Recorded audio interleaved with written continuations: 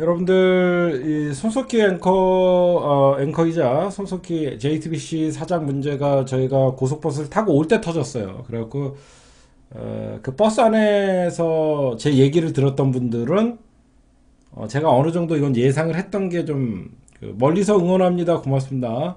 어, 아마 적중을 했죠. 뭐가 적중해? 이거는 분명히 그 처음에 프리랜서 기자다라고 하면서 언론에 나왔는데 제가 그 자리에서 전화 몇 통화 돌렸더니 어, 뭐 김웅 기자 제가 아마 지금 그날 제가 버스에서 읽어드린 거 있죠? 버스에서 읽어드린 그 대화 내용이 그 녹취록이었어요. 음, 녹취록이었는데 일단 여러분들 혹시 녹취록 들었어요? 녹취록 조금만 들려줄게. 아마 다들 들었을 거야. 녹취록 조금만 들려줄게.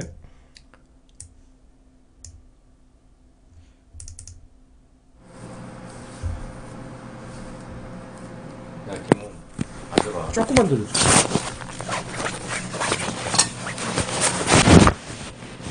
손석희 사장님, 음. 방금 저한테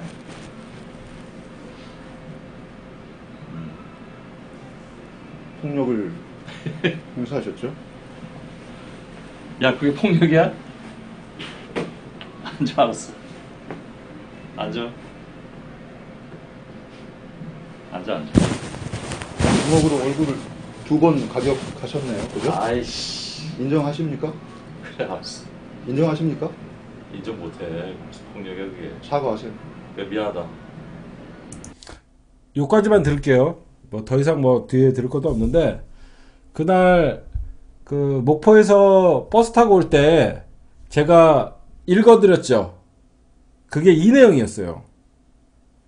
저는 이거를 어, 어제 어제 제가 우리 버스에서 공개했어요.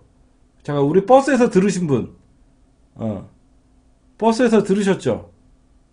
어, 이탄도 있고 그런데 버스에서 내가 이거 내용을 읽어드렸어요. 네. 네, 여러분들, 저는 그래요. 솔직히, 제 입장으로 얘기해 줄게요. 저는 저 녹취록을 다 듣고, 다 듣고, 둘이 뭔가가 있어요.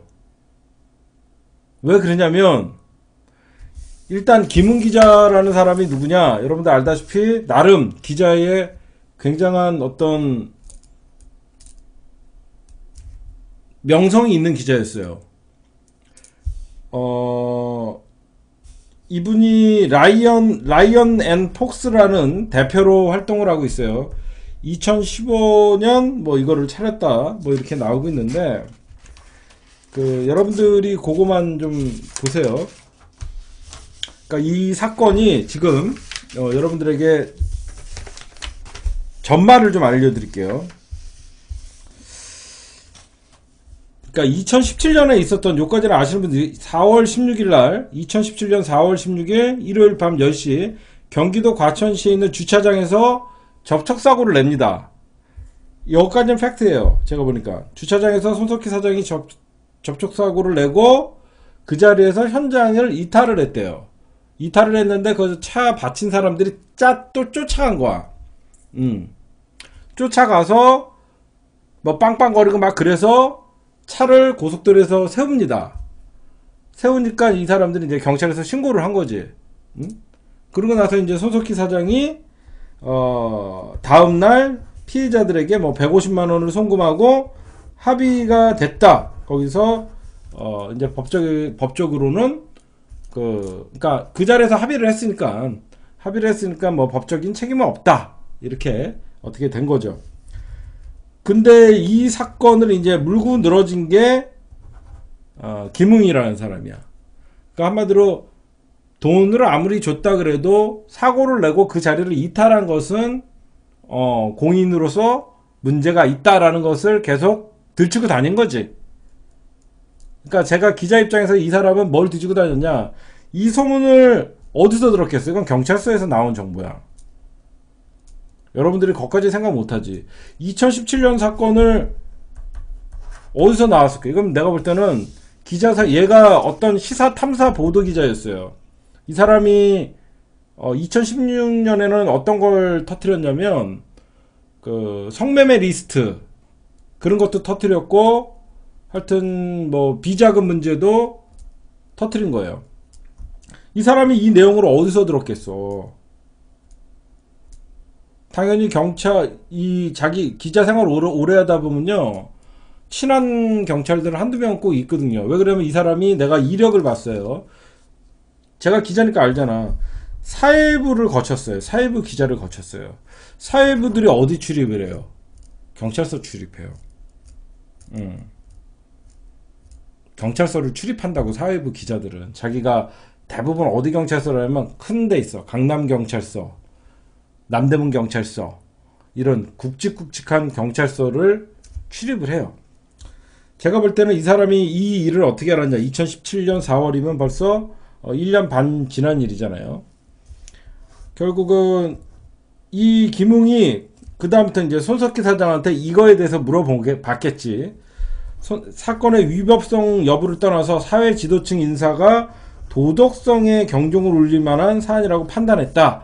그래서 JTBC 사옥에서 손 사장을 직접 인터뷰를 했다.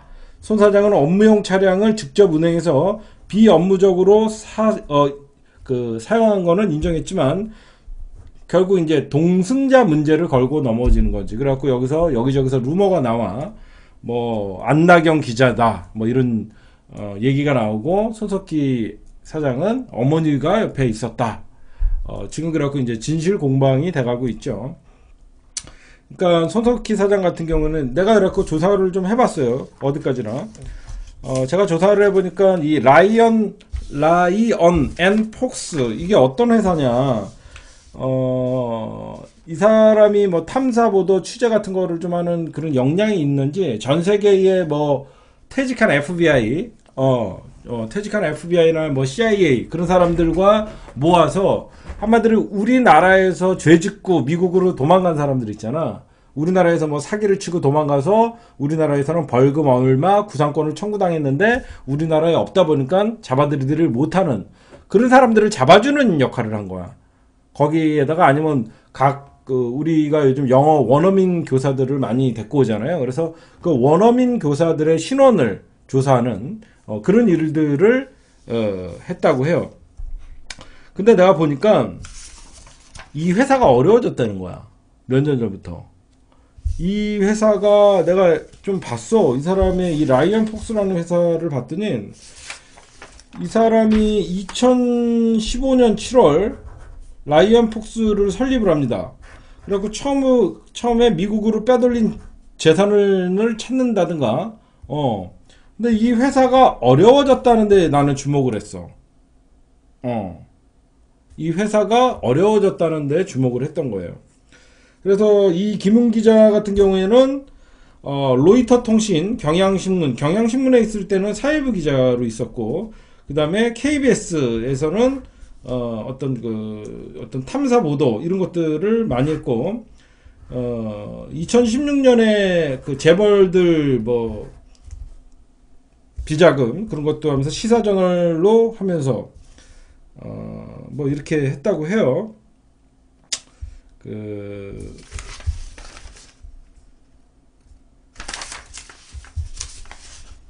근데 여러분들에게 솔직하게 말씀드릴게.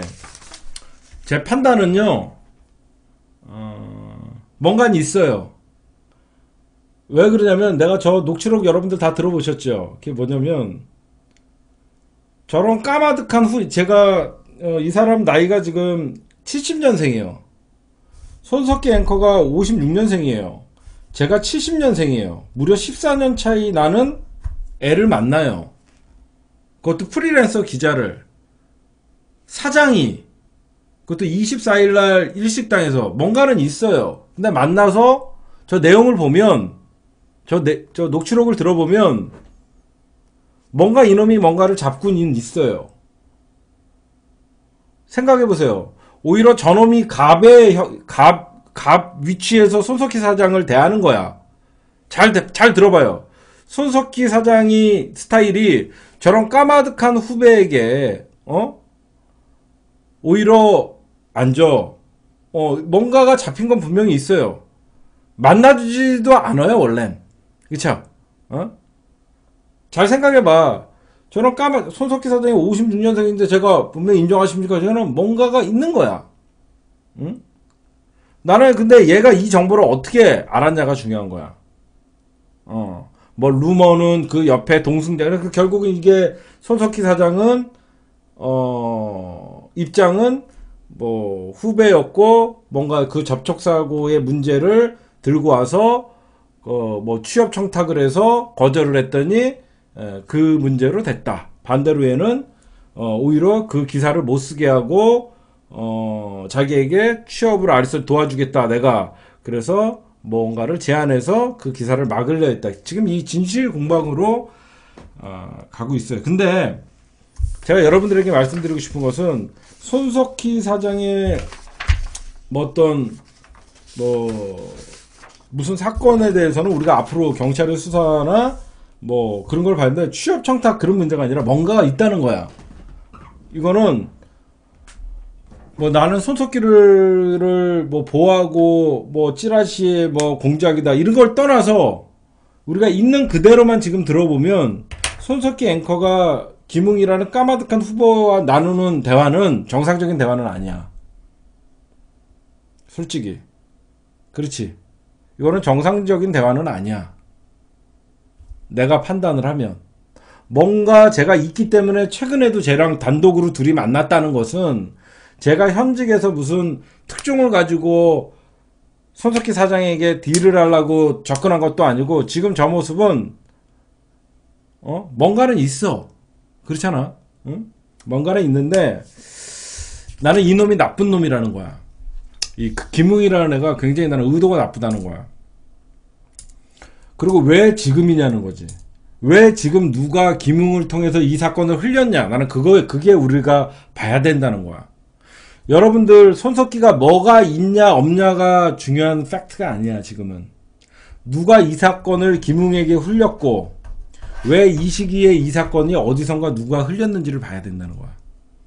뭐가 약점이냐 이걸 볼 그 사안을 여러분들이 집중하면 안 되는 거야. 그거는 그냥 하나의 이, 가시거리인 거야 무슨 알아요? 그건 하나의 손석기 옆에 동성자가 누구냐라는 여러분들이 자꾸 의심을 갖는 거는 걔네들이 원하는 짓이야. 진정한 그 여러분들이 어떤 정치적 감각이 있고 그런 분들이면 누가 이, 2017년 4월에 있던 사건을 어떻게 이놈이 입수했는지를 알아야 되는 거야. 응? 무슨 말인지 알아? 누가 2017년 4월 사건을 김웅이라는 그것도 현직 기자가 아닌 프리랜서 기자가 어떻게 이 사안을 알았는지. 아니, 어머니 아니고 그게 중요한 게 아니라고. 어? 무슨 말인지 알아? 누가 손석희 사장이 접촉사고 낸 사건을 이제 와서 들춰서 누군가가 이 사건을 냈냐? 그걸 봐야 된다는 거야. 내가 볼 땐. 중요한 건 뭐다? 지금부터 중요한 얘기 해줄게요. 그러면 김은 기자는 KBS에서 왜 쫓겨났는지를 봐야 돼. 내가 왜 얘가 의도가 나쁜 놈이랑 나쁜 놈인 것 같냐 얘기하냐면 잘 들어봐요. 김웅이 하는 짓이 여러분들 제가 얘기하는 거 들으면 깜짝 놀랄 거예요. KBS에서 왜 잘라졌냐면 이 김웅 KBS가 경기도청 출입기자였어요. 경기도청 출입기자 할 때 경기도 여성 공무원을 스토킹을 합니다. 이 김은 기자가 경기도 여성 공무원을 스토킹했다가 어, 이 여성을 폭행을 합니다. 이 김은 기자가 스토킹을 하고 이 여자를 폭행을 해요. 그래서 이 여성이 고발을 합니다. 이 여성이 고발을 해요. 이 여성이 고발을 하고 이 김은 기자가 위기에 처하니까 어떻게 했냐? 이 오빠를 찾아갑니다. 이 스토킹한 자기를 고발한 오빠를 찾아가서 쌍욕을 합니다. 쌍욕을 하니까 이 오빠가 어떻게 해요? 이름 미친 새끼 그러면서 때렸어요. 유도한 거지. 뭐 악질이라는 거 무슨 말인지 알아? 자기가 스토킹한 여자를 때리고 자기가 고발당하니까 오빠를 찾아가서 쌍욕을 하니까 오빠가 때리도록 유도를 한 거지. 유도를 하니까 자기 오빠가 고소를 당했지. 고소를 당하니까 동생이 고소를 취하를 해준 거지. 그래서 그 사건 때문에 KBS에서 잘리네요. 얘가. 이 건으로 KBS에서 잘리네요. 제가 여기까지는, 아, 어. 저는 여러분들은 손석기를 캘 때 저는 얘를 캐요. 음. 저는 얘를 캐고 있어요. 그리고 얘가 만들었다는, 어, 이 김웅이가 기자가 만들었다는 라이언 앤 폭스가 재정 상태가 되게 안 좋아요. 근데 저는 이 사람을 욕하고 싶은 거는 손석희 앵커에게 누구 이 정보를 누구한테 얻었는지를 우리가 밝혀야 된다는 거야. 그럼 무, 무슨 의도로 무슨 의도로 김웅 프리랜서 기자에게 봐봐 나는 여러분들이랑 조금 생각나는 게 이게 왜 프리랜서 기자의 손에 들어갔는지가 더 웃긴 거야. 이건 거대한 조직적인 뭔가 세력이 왜 하필 손석기인지를 우리가 밝혀야 돼. 이게 무슨 말이냐면 잘 들어봐요. 이게 만약에 조선일보에서 터트렸다 그러면 싸움나. 아까 내가 조선일보를 낮에 봤는데 엄상섭이가 뭐라 하는지 알아? 지금 손석희 앵커의 문제가 굉장히 심각한 사안으로 나오고 있습니다. 그런데 저희 같은 언론인으로서 아무래도 손석희 앵커는 막대한 영향을 미치고 있고 저희가 오늘은 보도를 자제하겠습니다. 그런 거야. 무슨 말이냐? 같은 종편에서 손석희를 먼저 까지를 못하는 거야. 소속이 없는 프리랜서 기자가 언론사 사주를 그러니까 언론사 사장을 상대하기엔 가장 좋은 거지. 왜 이게 프리랜서 기자 김웅한테 갔는지를 생각을 해야 된다는 거야. 어떤 언론사가 현재 가장 막강한 사회적 영향력을 끼치고 있는 JTBS 사장을 어떻게 직격을 할 수 있겠어. 이거는 의도적으로 누군가가 프리랜서 기, 현직 기자 소속이 없는 김웅한테 흘린 거라고 나는 생각을 해. 안 그래? 생각을 해봐. 채널 A한테 이걸 TV조선이나 채널 A한테 흘렸다가는 JTBC가 또 갖고 있는 정보로 얘네들 가만둘 것 같아? 개싸움이 나거든. 그러면 가장 소속이 없고 KBS 출신이고 경향신문 출신이고 이쪽에서 보면 되게 의로운 사람이야. 그렇지 않아? 이 사람 출신만 보면 성매매 리스트를 공개했고 시사 저널 보도를 통해서 재벌들의 불법 비자금을 폭로했던 사람이야. 겉으로 보면 이 사람의 이력은 굉장히 괜찮아. 누가 봐도 거짓말하지 않고 진실을 보도할 것 같은 사람 같아. 내가 추리할 때, 이, 그런 가장 소속이 없고, 남들이 봐도 저 사람이 얘기하면 어느 정도 신빙성이 있는 사람을 찾았고, 현재 그 사람이 재정적으로 가장 악화된 사람을 찾았다고 생각해. 그게 누구냐? 그 모든 삼박자. 현재 돈이 급한 사람. 둘째, 누구보다도 커리어가 좀 있는 사람. 조선일보 출신이 아닌 어느 정도 사람들이 이 사람의 기사에 수긍을 할 수 있는 사람. 셋째, 소속이 없는 사람. 그 사람을 찾은 것 같아. 이 정보를 누가 이 사람에게 줬는지가 저는 중요한 것 같아요. 무슨 의도로? 음. 그게 김웅이었던 거지. 이 중요한 소스를 이 사람이 취재를 해서 얻었을까? 아니지. 프리랜서 기자가 어디서 경찰을 통해서 지가 그 현장에 없었다 그러면 누군가 이 사람한테 기사를 흘려준 거지. 누굴까? 그렇지. 누굴까? 나는 검찰이라고 생각해. 음. 난 검찰이라고 생각해. 난 이 사건의 배우는 검찰이라고 생각해. 음, 왜 그러냐? 지금 아, 여러분들이 그런 게 있어요.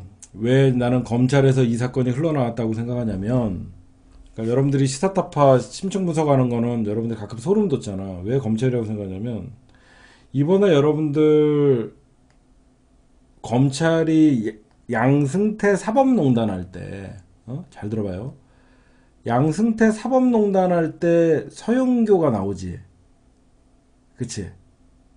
양승태 사법농단을 수사하다가 갑자기 여태까지 언론에다가는 얘기를 하지 않다가 슬쩍 공소장에다가 서영교 이구년 노철래를 쓴 거야. 이게 무슨 말이냐면 검찰은 이미 양승태 대판 거래를 수사하는 와중에 여당의 유력 정치인들과 야당의 정치인들이 개입됐다는 걸 알고 있었던 거야. 그쵸? 이미 알고 있었어. 그러다 보니까 여태까지 갖고, 그러니까 갖고 있던 정보를 양승태 사법농단 수사하면서 전 국민들이 양승태를 구속해야 된다라는 여론이 이끌으니까 양승태는 구속시키면서 검찰이 위상이 높아지지. 그러면서 슬쩍 끼어는 게 뭐야? 이구년 노철래 여당의 유력 법사위원장인 서, 어, 법사위원이은 서영교를 끼워넣는 거야. 그럼 뭐야? 나는 이, 타, 이 사건은 이렇게 생각해요. 검찰이 얼마 전에 조국 수석이 공수처 설치를 얘기했죠. 정부의 힘만으로는 할 수 없다 그러면서 노골적으로 국민들이 도와달라 그랬어요. 그래갖고 여러분들이 얼마 전에 많은 사람들이 공수처 서명 운동을 했어요. 그쵸? 공수처 서명 운동 끝나고 나서 터진 게 뭐야? 서영교야. 기억나? 공수처 서명 운동 하자고 나서 그 다음에 터진 게 서영교였어. 나는 이건 우연은 아니라고 생각하거든. 그건 우연은 아니야. 그게 무슨 말이냐면, 그게 무슨 말이냐면 여러분들, 저는 이 사건에 배우는 검찰이라고 생각하는 게 검찰에서 흘러나온 정보일 수밖에 없는 게 여러분들 음, 이런 얘기를 해줄게요. 이 검찰 조직이라는 조직은요. 문재인 대통령 지지 이 김태우 사건도 여러분들 심각한 거야. 문무일이라고 단정 짓지 마요. 문무일이라고 단정 짓지 마. 그렇게 얘기하지 말고 제 얘기를 좀 크게 보세요. 크게 제 얘기가 제 지금부터 제가 얘기하는 걸 누구 이렇게 욕하라는 게 아니야.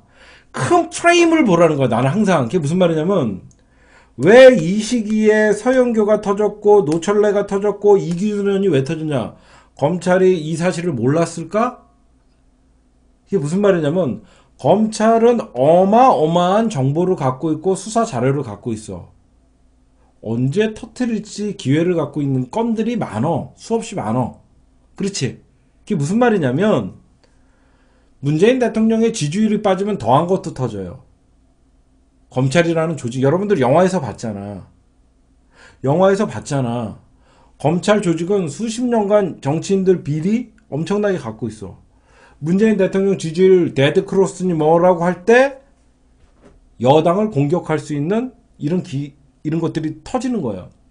제가 왜 김태우 사건이 위험하다고 얘기하고 이번에 문재인 대통령이나 이 민정수석실에서 김태우 사건은 신속하게 저거는 제압하지 않으면 굉장히 골치 아픈 사건으로 갈 가능성이 많다고 얘기하냐면 김태우가 어디 출신이야? 검찰 출신이야.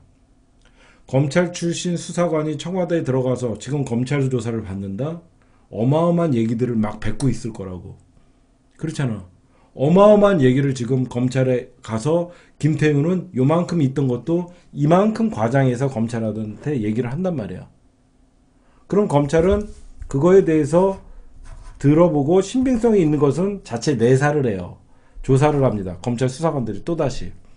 그럼 검찰은 이런 정보들을 언제 터트리냐? 정보를 계속 쌓아놓고 있다가 정권에 힘이 빠지면 터트리는 거예요. 그렇죠? 정권이 힘이 빠지면 터트리는 거예요. 저는 근데 여러분들이 어 그래서 여러분들 이제 딴 쪽으로 얘기가 좀 갔는데 지금 제가 예의주시하고 있는 사건이 두 개가 있어요. 저도 검찰 쪽에 아는 사람들이 있고 그 사람들이 뭘 들여다보는지 저도 봐요. 뭘 보냐. 비트코인. 비트코인에 올 상반기에 엄청난 찌라시들이 있었고 문제가 있었어요. 그렇지? 문제가 있었어요. 그때 한간에 들리는 소리들이 여권에 실세들이 개입돼 있다. 이런 것들을 검찰들이 안 들여봤을 것 같아요. 다 들여봤어요. 분명히 누군가는 연관이 돼 있는 사람들도 있었겠죠. 근데 어? 발표를 못 해요. 고마해라 디비자라 어, 가서 자. 어, 영원히 자시고 안녕히 주무세요. 네. 여러분들이 이게 정치를 알기 전에 저한테 이런 얘기를 들으면요.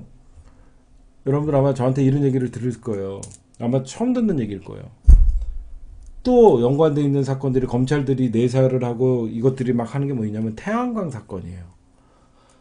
이 문재인 대통령이 태양광 작업을 어, 이 태양광 사업을 엄청나게 추진했잖아요.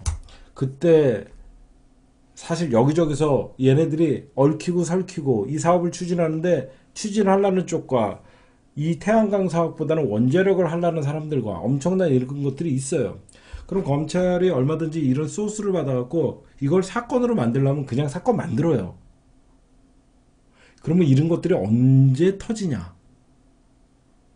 이런 게 언제 터지냐? 정권에 힘이 빠질 때 무차별로 터트리는 거예요. 그래갖고 정권을 내주저앉히는 거예요. 이게 검찰이에요. 그래서 조국 수석이 힘 있을 때 빨리 공수처를 설치하려는 거예요. 저는 분명하게 의심해요. 그럼 왜 지금 타겟이 손석기냐? 왜 이 사건이 지금 손석기로 갔냐? 손석기 앵커가 최근에 어떤 발언을 많이 했냐면 삼성 바이오로직스 사건을 들여받아 봤어요. 그쵸? 여태까지 삼성에 대해서 그렇게 많이 얘기 안 하다가 최근 들어서 삼성 문제에 대해서 많이 얘기를 했어요. 그쵸? 기억나요? 최근 들어서 바이오로직스 사건과 이재용 사건 이런 것들에 대해서 많이 깠어요.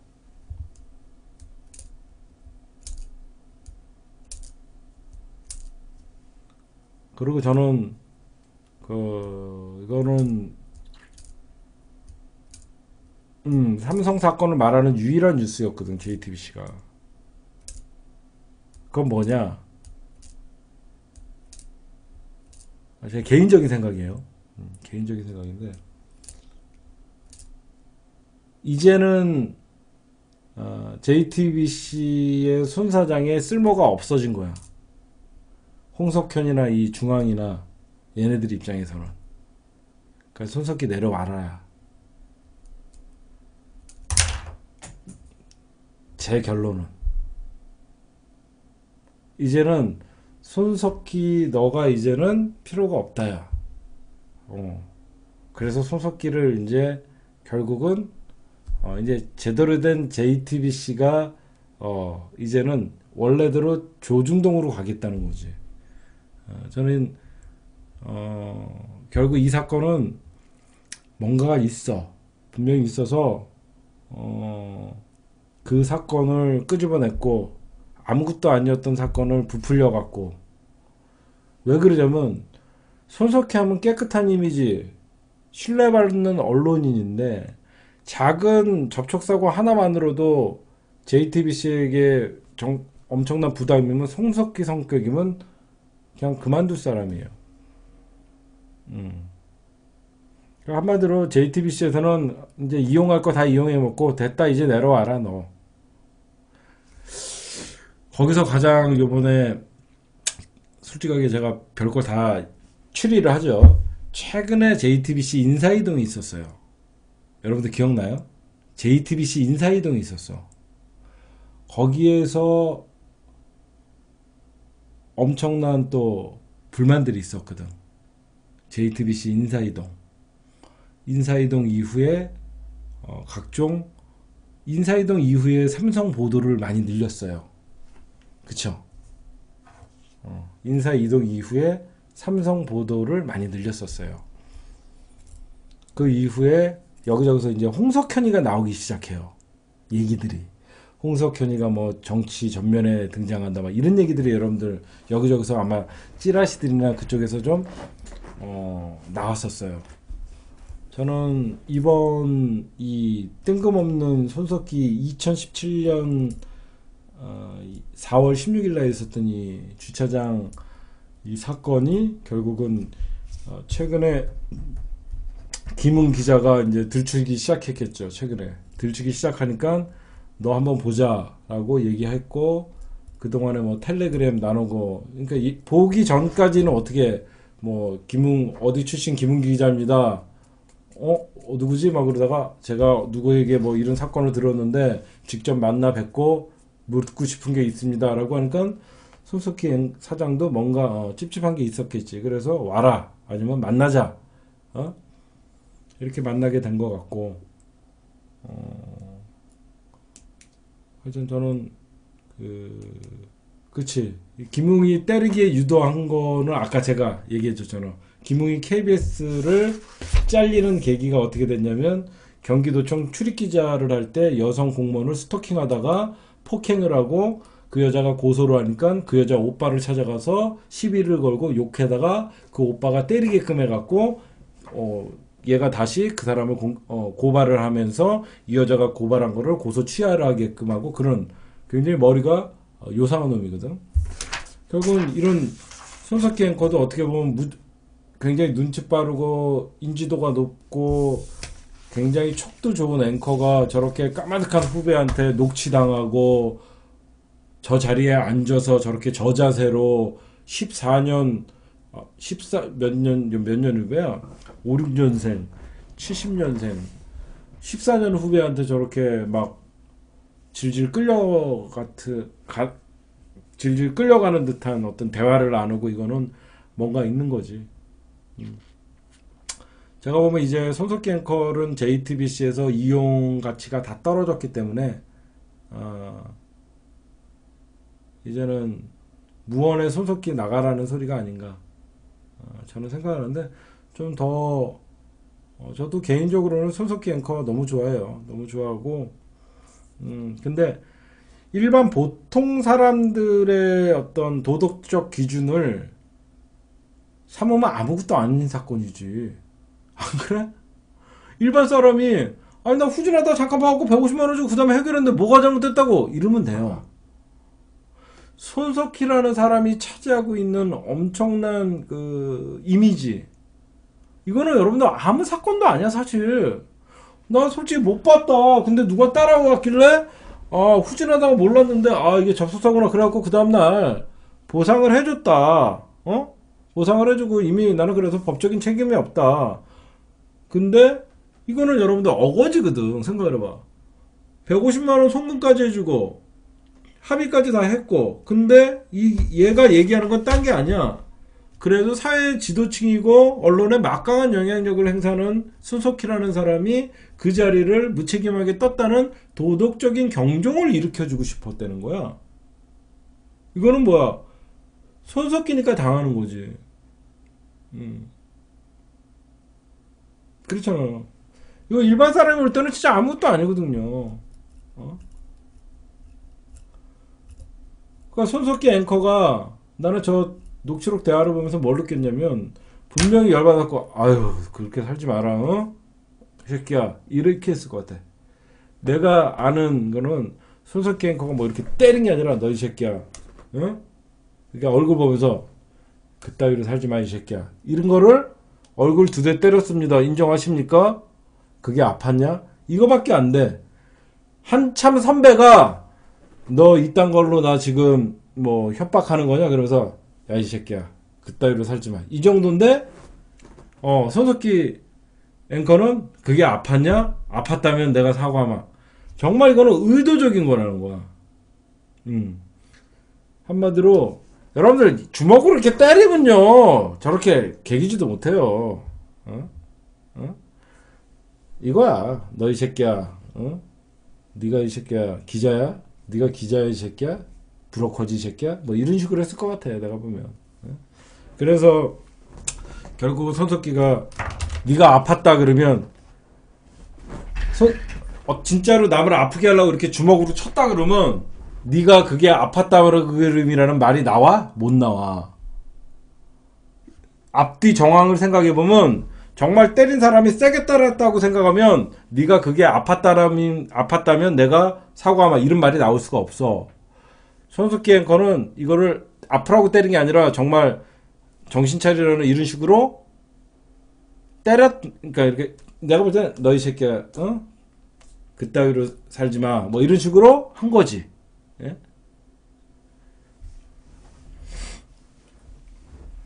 병원 진단은요 여기 턱이 흔들려요 그래도 나와요. 어. 조금만 하면 2주, 2주 나오고요. 여기 턱이 좀 흔들려요 그러면 3주 나와요. 4주 이상 나오면 엄청난 거고. 음? 내가 볼 때는 그치 접촉은 있었지. 응. 접촉은 있었지. 음. 내가 볼 때는 얘가 김용이라는 애가 과거 이력을 보면 제대로 엮은 거지.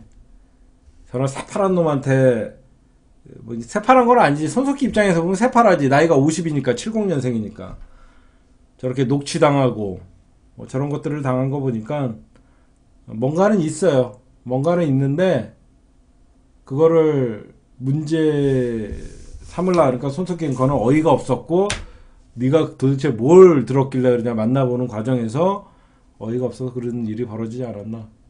음. 더 여러분들이 좀 지켜보는 게 지금까지는 제가 어, 제 촉으로 어, 제 촉으로 여러분들에게 말씀드린 거니까 이게 뭐 전체적으로 뭐 이게 다 제 말을 믿을 필요도 없어요, 여러분들.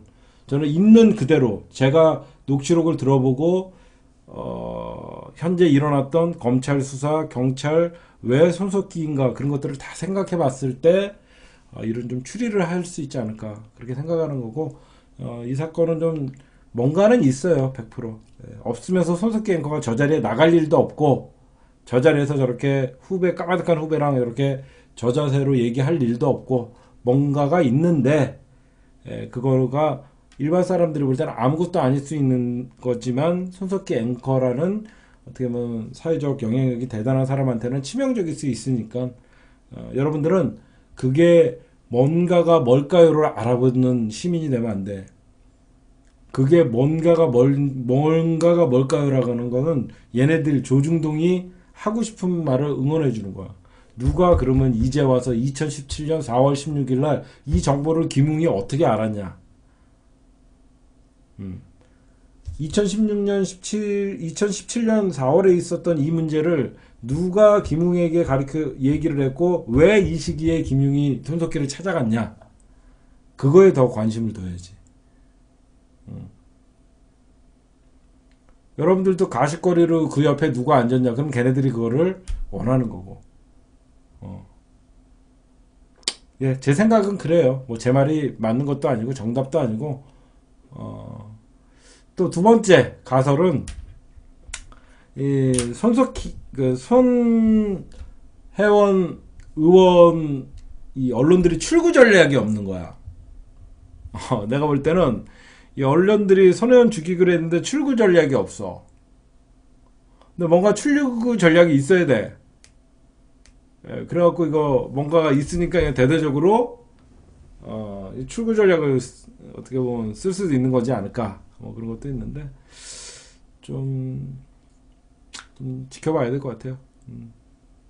저도 좀 잘, 어, 좀 너무 손, 손석희 앵커가 어, 많은 심한 도덕적 잣대를 들이대서 어, 너무 공격당하지 않았으면 좋겠어요. 음. 그래도 참, 그, 대한민국의 그 언론인으로서 참 그래도 존경받는 사람인데, 음, 좀 잘 해결됐으면 좋겠습니다. 음.